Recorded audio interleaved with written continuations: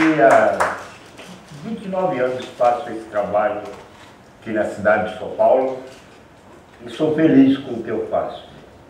Daqui eu sou da Bahia, nasci em Jiquié, na Bahia, e via o destino do meu pai era São Paulo, e pegamos o pau de arara lá na Bahia, naquela década de 50, destino São Paulo. Chegou em Minas, meu pai parou, mas eu tive na cabeça, né, que a minha tia resolveu vir para São Paulo e eu falei, tia, me leva para a senhora, que eu quero ser engenheiro. E eu tinha um sonho de que eu seguia os passos daquele grande arquiteto brasileiro, que é o Oscar Niemeyer. Eu falei, pai, eu quero estudar para ser engenheiro, vou para São Paulo, uma cidade grande. E era a época que São Paulo ainda estava no auge da reforma de São Paulo, o crescimento de São Paulo. E eu cheguei criança, com 11 anos de idade em São Paulo. E comecei a, a ir para as praças, assim, eu não estava sem escola, e comecei a ver aquele pessoal catando papel na rua com carrocinha de mola. Ali eu fui, conversei com o cara, ele falou, faça isso, você está aí à toa. Aí comecei a catar garrafa, papel, e dá para aquele catador. E dali eu fui tomando gosto, mas só que com 17 anos eu já tinha arrumado escola, já estava estudando, e comecei a pensar na reciclagem. E fui trabalhar em empresa. Quando eu cheguei na empresa, eu via o pessoal estragando aqueles Malmitec, eu sabia que aquilo era alumínio. E daí eu comecei a reciclar aqueles alumínios. E dois mil funcionários jogavam fora, eu comecei a reciclar aquilo lavava ele, tirava o resíduo da comida, enrolava ele e comecei a juntar. E aquilo foi o crescimento do meu estudo, aquilo foi o crescimento da minha criação de comprar os meus cadernos, comprar meus lápis, a minha borracha, certo? E ajudar a minha tia, às vezes, no alimento de casa. E ali eu fui progredindo. Quando chegou a época, eu encontrei com os catadores e falou, é, vem trabalhar com nós. Você gosta de fazer isso? E foi quando eu resolvi a pedir conta de empresas que eu trabalhava, colocando, colocando semáforo nas ruas de São Paulo, fazendo asfalto nas empresas, empregado em empresa. Eu sentia muito coagido, muito aprendido, porque eu comecei a perder dia de, de aula é, por causa do emprego. Falei, sabe, eu vou pedir conta. Pedi as contas e fui para reciclagem direto. Estou fazendo 30 anos nesse trabalho, sou feliz. Eu acho que o benefício que isso nos trouxe, é, o meio ambiente que sempre sorri. O meio ambiente nos agradece a evolução do trabalho da reciclagem, do trabalho que exercemos na rua de São Paulo, e fora as críticas que nós tínhamos onde se, eh, nós era tratado como os porcos, como os, os caras que não tinham valor. Hoje nós temos uma valorização mundial, certo? que é o trabalho que fazemos pela limpeza da nossa cidade. E isso foi nos deixando muito felizes, muito alegre. E com a reciclagem eu consegui a minha família, tenho os meus dez filhos, certo? Eu virei um, virei dois, três, quatro, cinco, seis, sete, oito, nove, dez. E desses dez filhos, eu na reciclagem, eu comecei a falar com eles, filho, estuda, certo? se forma para vocês ser coisas boas na vida e que não seguir muito o exemplo do pai que largou de bons empregos para fazer isso. Porque isso aqui é a sinceridade do homem. O homem tem o direito de lutar pela família que tem. E eu, com a reciclagem, formei meus filhos e estou com três filhas aqui hoje, que é a, a, a, oitava, a nona e a décima, que é a caçula. Então aí, a Aline, a Líria e a Eduarda. Estão aqui.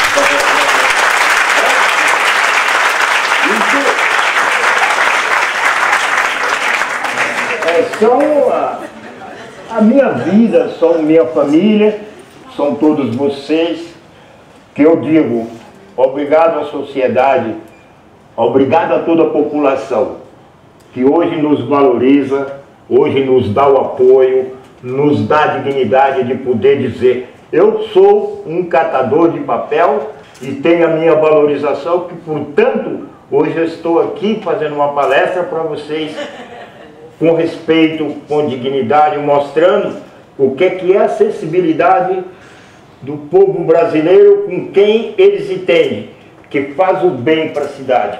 Eu como e ter a esperança de ter uma dignidade de ser que nem Oscar Neymar, hoje eu sou um cidadão da reciclagem que me considero um ele lá nas, nas obras de arte que ele tinha para fazer. Porque as obras do homem, tudo são arte. Brasília, e muitas artes que ele fez, em Ibirapuera e mais em outros lugares aqui em São Paulo ele fez no mundo. Ele fez nos Estados Unidos, fez na Alemanha, fez em outros países e deixou o legado dele a todos nós brasileiros. Que aquele homem veio para que a juventude tivesse uma tendência na cabeça dele e que se formasse e que a engenharia do nosso país crescesse mais evoluísse mais através do que ele deixou para todos nós brasileiros. O respeito à dignidade. É isso e o caráter dele. É lutar e fazer. Riscar no papel e construir. Nunca risque e deixe em vão, jogue fora. Não guarda que um dia você vai tirar aquele ciclo que você fez no papel e vai fazer ele em arte, em evolução e determinação, para que você tenha um legado de mais tarde ter alegria. E quando eu trabalhando na reciclagem, surgiu um casal, um dia à noite, eu na porta da minha casa, pesando uma carga para um comprador de rua, que para o caminhão na rua, chegou um casal. E de quem é essa carroça? Eu falei, minha. Ele falou, olha, eu sabe o que eu estava fazendo? Dividindo o dinheiro da minha, do pão dos meus filhos para guardar 10 reais, 5 reais, 20 reais, para inteirar 500 reais, para mim reformar meu, minha carroça. Apareceu aquele casal da minha frente e disse, Poxa, de que é essa? Eu falei, minha? Falou, ó, o senhor quer reformar ela? Falei, meu Deus do céu, aqui no meu coração vai. Se abriu. Me deu vontade de chorar, de gritar, de emoção. Vai aceito. Aí escreveu meu nome lá e tal, pegou dado de documento meu, falou, amanhã cedo o senhor vai o Vale Iagabaú. Você acredita que é um catador de papel? Não dormia à noite pensando, oh, eu ganhei pela reforma da minha carroça. Oh, não dormi, não dormi, não dormi. Meus filhos ficaram felizes, minha esposa ficou feliz. Minha família toda chegaram, me abraçaram. Pai, parabéns, só ganhou. Vai fazer, pai, por vou. Vou pro do Iagabaú. Se acordar de manhã, tem uma, uma televisão na sua porta te esperando. É sair com a carroça puxando ela nas ruas, chegar no Vale do Iagabaú, ser recebido, pelo amor de Deus, multidões de pessoas, médico, oculista, receber massagem no corpo. É um sorriso, uma felicidade. É, por isso transforma a vida da gente. É, aquela pessoa que era maltratado, comedor de lixo, é, que era tratado como imundo, e gente passava por a gente, cortava a volta, o cara tratado de lixo, gente. Era, era assim que a gente era tratado. Hoje nós somos abraçados. E temos que agradecer ao Pipe na carroça, que são os grafiteiros, que pessoas que muito tempos atrás eram criticados por todo mundo. Se o muro aparecia pichado, você dizia, ah, o grafiteiro veio aqui e pichou meu muro. Não. O grafiteiro é um artista de rua. Ele é um artista de parede, ele é um artista de porta de aço, ele é um artista de muro, de torres, mas que ele deixa um legado. Ele faz obra, ele faz arte, ele faz demonstração, ele faz alegria do povo, faz alegria sua, do jovem, de que vai passar, vai olhar e vai ver, olha que obra bonita ali, que pintura bonita. Vai fotografar, vai contar uma história daquilo ali.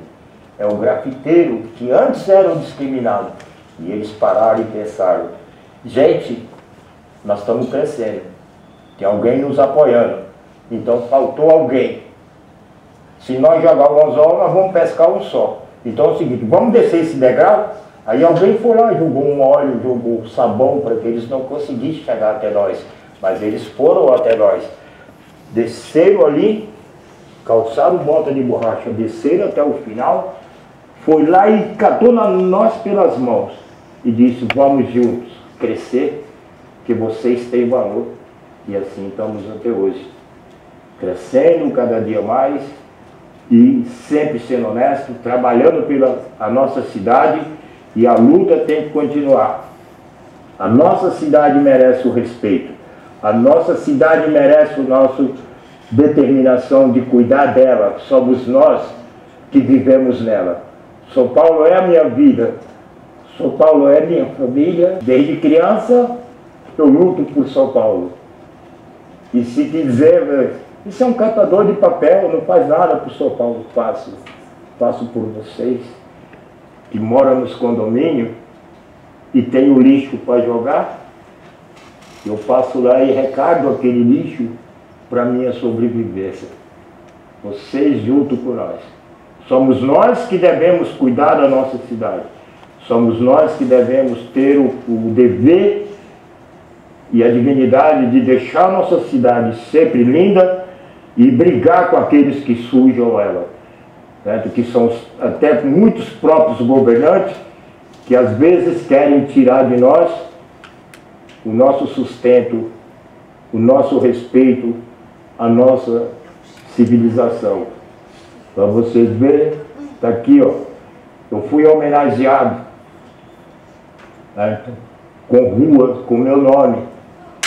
Certo?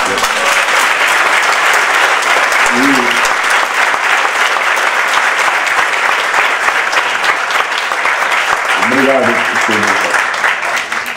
E passando disso aqui, o Emicida me informou uma surpresa dentro do museu no Ibirapuera, convidado. Senhor Rafael, dá para o senhor trazer a carroça até o Ibirapuera? Fui. Oxe, vou sim. Para participar de um evento. O que é que eu fiz? Oxe, sempre participei de Expo Catadores, através do PIP, participei de outros eventos mais. Fui até Ibirapuera com a carroça. Cheguei lá, dentro do museu, colocar minha carroça lá dentro. Pois aí a pouco o Emicida ele dá um presente, um quadro de presente com o símbolo do meu respeito, da minha civilização, por eu ajudar a cuidar da nossa cidade. Quer dizer, tudo isso, de estar ao lado de uma pessoa que ele, para mim foi um, um agradecimento maior da minha vida.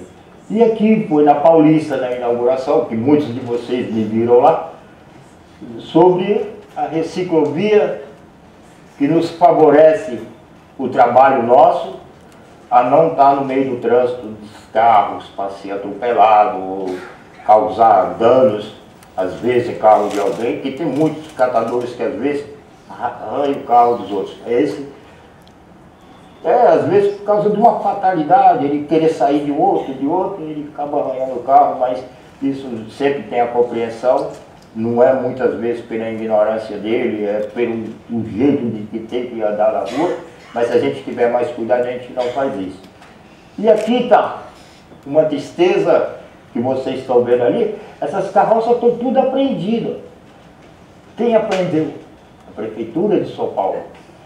Tirou o pão de milhares de famílias de São Mateus, Cidade Tiradentes, Guaianazes, certo? Gente lá de Itaquá, Estão com as carroças prendidas lá na prefeitura. E o que é que nós fizemos? Eu corri atrás, lutando à noite para eles não aprender as cargas dos caras, as carroças. Aí assim, os guardas disseram, assim, fala muito, nós vamos te bater. Eu falei, não, não estou para guerra. Nós temos como resolver a paz. Amanhã eu vou ligar para o PIP, E nós vamos procurar os direitos nossos. Vocês vão ter que devolver essas carroças. Então, portanto, ele escreveu na minha carroça, não prendam nossas carroças, aprendam a reciclar.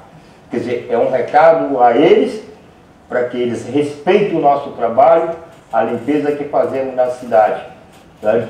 E que essas carroças estão lá e nós precisamos que elas sejam devolvidas aos catadores.